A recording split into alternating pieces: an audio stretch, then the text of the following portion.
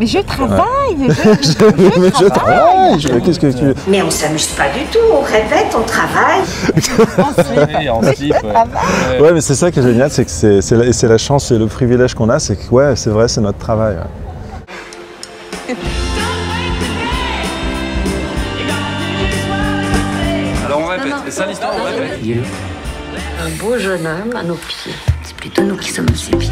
Cet esprit de troupe, euh, cet esprit. Ben, je, je ne sais pas. euh, C'est mais pas je des sais pas. C'est une honte. C'est ça l'esprit de troupe, vous voyez, Voilà, c'est d'un coup se retourner Voilà. sur une personne et dire bah, bah, bah, démerde-toi. Bah, vas-y, Voilà, fais avec cette question, et voilà, et- et démerde-toi avec ces... fais-nous c'est ça l'esprit de troupe.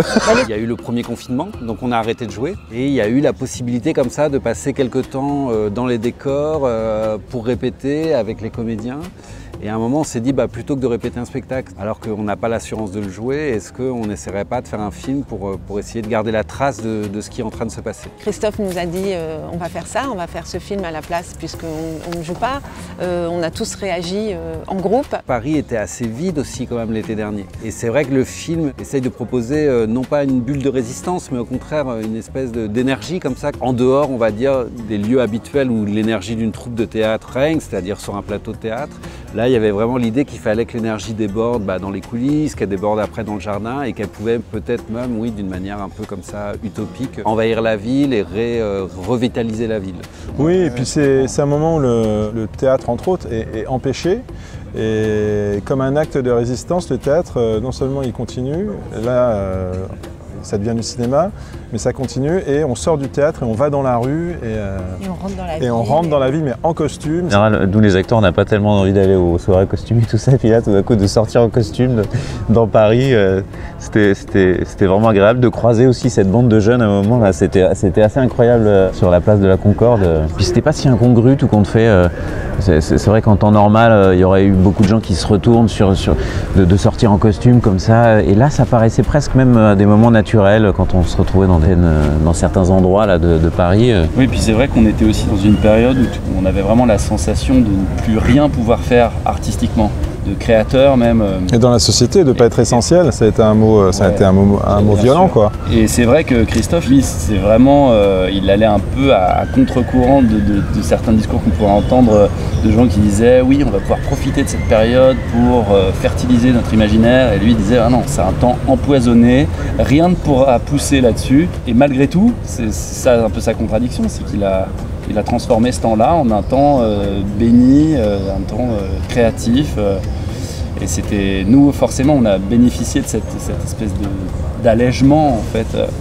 C'était merveilleux. Moi j'étais directeur de colo, donc leur envoyé leur trousseau. J'ai dit bah voilà, pendant ces dix jours, il faut que vous ayez ça dans votre valise. Il y avait trois films à voir, French Cancan Renoir, L'état des choses et puis Somewhere de Coppola.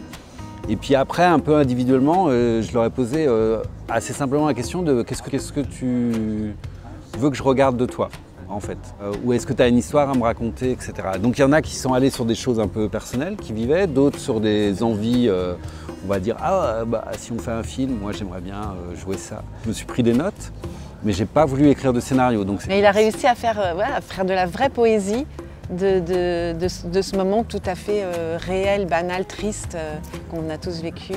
C'était des notes, des suites de notes, et puis après, chaque jour, bah, je leur disais, bah voilà, là on va faire une scène où on va raconter un petit peu ça, on, improvisait un petit peu, et puis au fur et à mesure, en fait, la caméra se mettait à tourner, et, et le moment, entre le moment où on discutait un peu de la scène et le moment où ça devenait vraiment un peu du cinéma, en fait, c'était, c'est comme quand vous vous mettez à danser, vous savez pas très bien à quel moment, en fait, vous dansez pour de vrai ou à quel moment vous apprenez encore à danser. Parce qu'on était tous avec nos prénoms, avec nos fonctions, eux acteurs, moi metteur en scène, dans un lieu en fait qu'on pratique euh, tous ensemble, une scène de théâtre. euh. Et malgré tout, le film fictionne. C'était ça qui moi m'intéressait évidemment, c'est que ça finisse par euh, qu'on arrive à échapper un peu à nos situations très particulières pour essayer d'évoquer comme ça bah, qu'est-ce que c'est que des acteurs quand ils jouent pas? Voilà, ce qui était pour moi une, des questions essentielles du film. Je crois que c'est un métier très particulier et, et une manière de vivre très particulière et qu'on ne peut pas faire de généralité sur ça parce que les acteurs sont tous différents, mais malgré tout, un acteur qui joue pas, c'est cette attente de jouer en fait est, est quelque chose que je trouvais intéressant à essayer de, de capter par la caméra.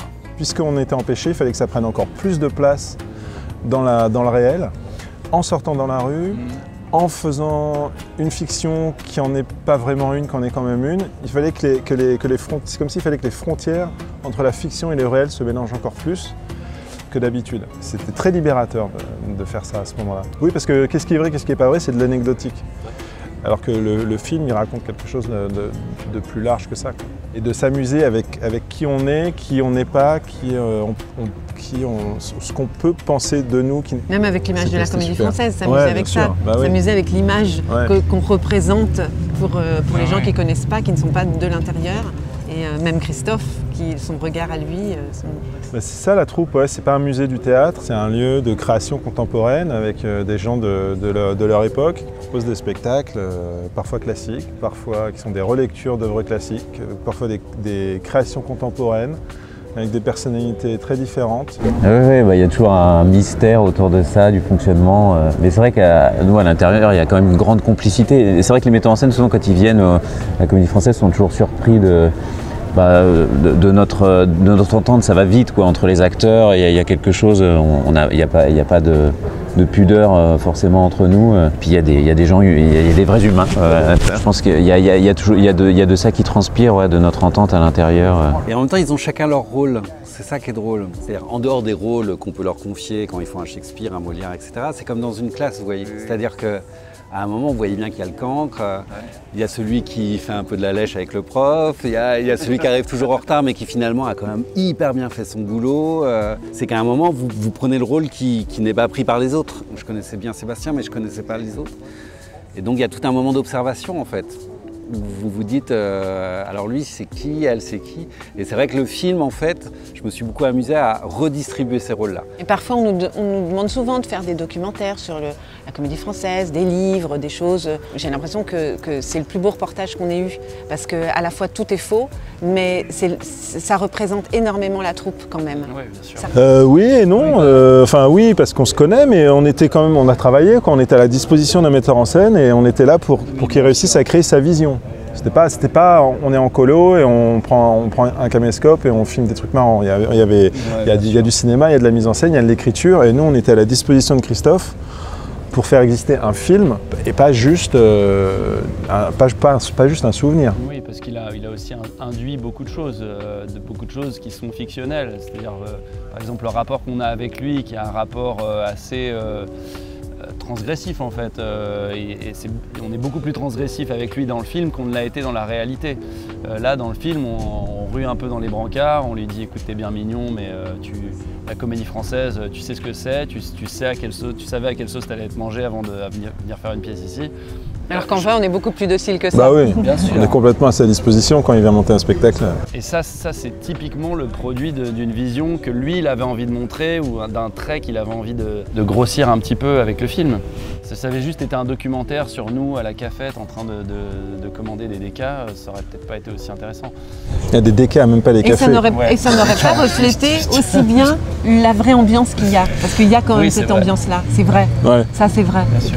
Il- Hein tu le fais ça dans la, Un objet de désir ouais, de- tout nu sur une fontaine. Oui, tu le fais. ça. Ouais, tout à fait. Mais il y a eu Arnaud Desplechin a fait un, un film. euh, Mais c'était- sur, euh, Mais ça parle. C'était Mais pas par mais rapport ça- à. Mais ça ne parle pas de. Oui, ça ne parle Non. pas du désœuvrement, ça ne parle. Mais Non. il a fait dans le même temps, il a fait ça. le Oui, temps, mais c'est. mais ça n'a rien à non, voir. non, Ah bah, c'est ouais. deux, deux films Il est resté autour du, du spectacle qu'il avait monté. Il y a un écrivain, je veux dire, euh, Bergotte, qui à un moment, devant un tableau de Rembrandt, il voit un tout petit détail de ce tableau, le fameux pan de mur jaune dont on parle, et il se dit, mais finalement, j'ai écrit des romans et des romans euh, sur des sujets tellement importants, philosophiques et tout ça, mais rien ne vaudra jamais, en fait, cette petite chose où là, j'ai l'impression que la vie bat, quoi. Et au cinéma, euh, on est souvent tenté par le solennel, euh, les grands sujets, vous voyez, les grandes formes, Dune, c'est vraiment ça, c'est une messe, par exemple, vous voyez, Dune, il y a un petit côté messe en tant que spectateur, on a l'impression qu'on on reçoit le temps l'injonction de se lever euh, euh, comme dans une messe, de dire Amen et de se rasseoir. Et, moi, de plus en plus, en fait, je crois que le cinéma peut se jouer aussi ailleurs, euh, dans un petit pan de mur jaune, justement. Et c'est vrai que c'est comme ça que le film fonctionne. On peut se poser un petit peu la question, mais qu'est-ce qu'on nous raconte? Et puis, et puis j'espère qu'à un moment, il y a, des moments de de vie, en fait, tout simplement, qui adviennent dans le film et qui font que soudain on se reconnaît en tant que spectateur. Et c'est quand même toujours cette euh, expérience-là qu'on cherche quand on est spectateur au cinéma, c'est quand on a l'impression de se reconnaître. c'est pas forcément l'identification, des fois c'est juste se reconnaître parce qu'il y a un plan sur un arbre ou, sur une rue de Paris ou sur, une, ou sur un visage et que euh, on sait qu'on l'a déjà vu cette image. Elle est dans notre mémoire, elle est, elle est liée à quelque chose de notre sensibilité et que soudain tout s'ouvre à partir d'une image. Et, ce processus-là est évidemment très proustien, euh, sans même parler de la Madeleine, mais cette idée qu'à un moment, une image suffit en fait à nous remplir entièrement et, à nous dire entièrement. Une vie d'homme peut, comme ça exister sur une image. Et, c'est vrai que le film a comme ça une espèce de, de sais pas comment dire ça, de, parcours un peu déambulatoire où, il permet d'avoir ce genre d'épiphanie. Euh, c'est pas si évident en fait à faire dans les films euh, euh, habituels où on a un scénario, où, on raconte des séquences, où on a comme ça une espèce d'efficacité narrative et tout ça. Et là d'avoir un film qui était très libre, euh, ça nous permettait aussi qu'à un moment la vie soit toujours plus forte que ce qu'on était en train de faire. J'ai dit une connerie? Ah non, non, pas du tout. Je sais pas, moi j'attends vraiment cette année pour voir un peu comment, comment on, sort de tout ça. J'ai pas l'impression d'avoir encore bien digéré euh, ce qu'on vient de, vivre. Mais... Et puis après, il y a la rencontre aussi, euh, que ce soit au cinéma ou, euh, au théâtre, avec, avec des spectateurs. Et, ça, c'est plus compliqué, on sait bien. Hein, en ce moment, en salle, c'est un peu catastrophique. Il y, a, très peu de monde en salle. Je sais qu'au théâtre, les, théâtres qui ont commencé à rouvrir à Paris, les salles, elles sont loin d'être remplies. Et donc, c'est comment après recréer le désir d'aller d'aller écouter d'autres histoires. Et je pense que c'est ça qui est compliqué en ce moment, c'est que les gens on a tous quand même vécu une histoire où soudain on se dit putain le scénariste là il nous a pas habitués à ça. Vous voyez d'habitude on a des histoires, euh, c'est nos enfants, euh, c'est la famille, euh, il peut y avoir un décès dans notre famille, c'est grave et tout ça, mais on n'a pas eu ce truc insensé de dire restez chez vous, ne bougez pas, portez des masques. Vous soudain on a eu tous l'impression que nos vies étaient dirigées par des scénariste américain un peu fou. Euh. Le catastrophisme était plutôt chez les, chez les, chez les Américains. Et là, je pense que dans les, dans les, dans les écritures européennes, euh, je pense que, l'imaginaire va s'élargir euh, sur ce mm. point-là. Il peut tout nous arriver en fait. Depuis le 11 septembre, on est bien au courant et ça ne fait que se confirmer.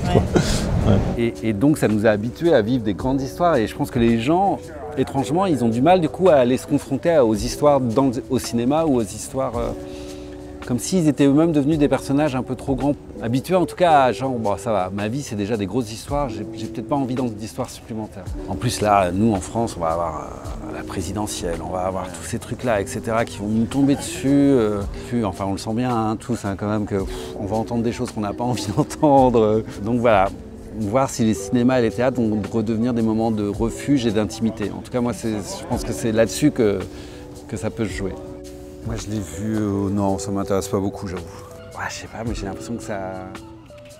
Ça dit pas grand chose quand même. Euh. ça donne vraiment une impression quand même d'avoir une scène d'exposition qui dure deux heures et quart. C'est-à-dire que moi je pense que le film d'après va être bien. Mais euh, celui-là, à un moment on se. On se... Ah ouais, c'est exactement ça. Une espèce comme ça d'impression de. Oui, de scène d'exposition interminable. En même temps, ils, font tout quand même pour qu'on retienne. Hein. On nous dit 20 fois les mêmes choses. Attention, le couteau, on va faire un gros plan sur le couteau. Attention, le truc, on va faire un gros plan sur... On a quand même un peu l'impression d'être pris pour des, pour des, pour des crétins, quoi. Mais euh, bah, je trouve que c'est pas très réussi, moi, personnellement. Euh, et pourtant, j'y allais, euh, parce que je trouve ça bien ce qu'il fait Villeneuve c'est un réalisateur qui est intéressant et tout ça. Mais je trouve que ça se voit en fait qu'il y a un problème sur les acteurs. C'est-à-dire que les acteurs, pourtant le petit, il est beaucoup filmé et tout ça, mais il n'y a aucune scène où il peut exister en tant que personnage autrement que, euh, comme, comme, euh, comme sa fonction en fait. Vous voyez ce que je veux dire? Il est que utilitaire. Et donc il n'y a aucune scène en fait où à un moment il peut échapper à, ce que le scénario réclame. Euh, ouais.